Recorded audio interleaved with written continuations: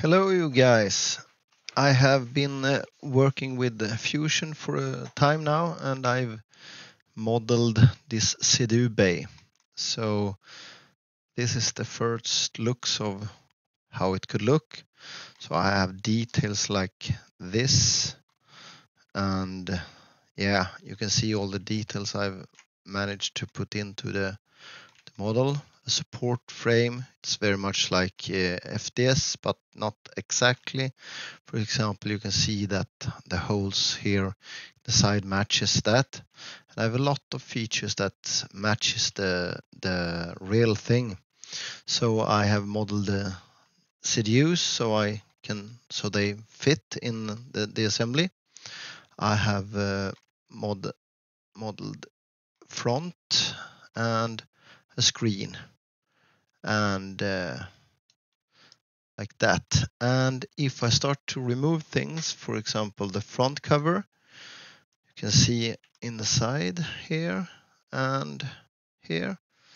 And if I remove the side panels and the back cover or the mid support and also the DZUS rails, the CDU, and here we have the DZUS and of course the, the CDU fits perfectly over the DZUS rails and the holes are there for the DZUS rails. So if I put this on again, you can see the holes for the DZUS rails.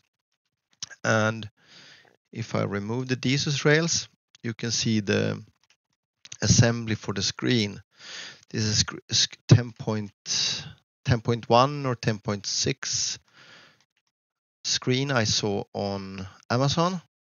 So I've modeled a mount for this so it can be adjusted up and down and uh, standard uh, standard VESA mount 75 and 100 so it's just slotted holes and you can move this up and down and this sideways and uh, also you can move it uh, yeah you can fasten it.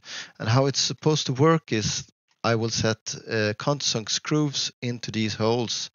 And these holes and this uh, and I will put rivet nuts in this part uh, and so you can see here I will put rivet nuts so when the countersunk screw goes into the rivet nut it locks uh, this part so it can't move up and down.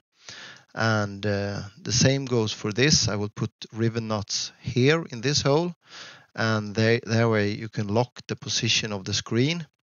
So it's a screen this is the screen mount. Uh, then this is a frame I made for the screen to to fit in the with with the screen I will probably buy from uh, Amazon. So this is the whole assembly of just this CDU frame. And um, and yeah you can see I can move this all the all the ways. So very nice. I will, of course,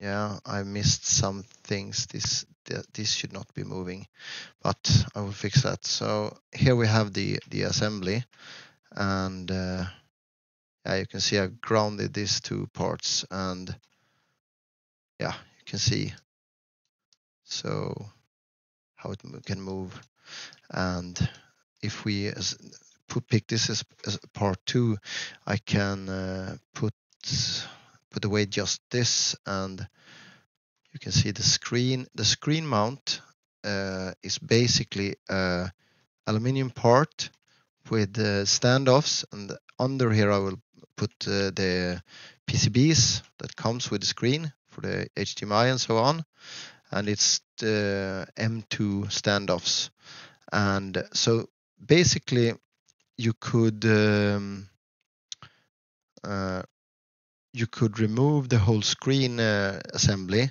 and here is the finished part that you can put on on that is in the CDU bay. And here is standard VESA mount 75 and 100 millimeters. And you can see that it can be moved in sideways it can, can be moved up up up and down. And uh, also the, these will lock the up and, and the up and down position will be locked and uh, the side will be locked with screws from this way. So basically this is how the screen mount uh, looks. And this is basically screen. So you, so you can put you can put any screen in this position any VESA mount screen. So doesn't have to be a 10.6 inch but as you can see it's barely exactly what I, I can fit in the uh, in the CDU bay so uh, yeah as you can see if we put back uh, um, the bodies and uh, front cover and uh, DZUS rail and DZUS rail and CDU and mid support. It's basically a finished.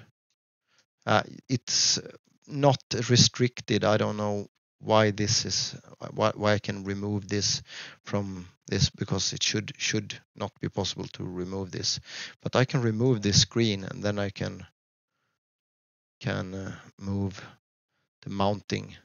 So this is, yeah.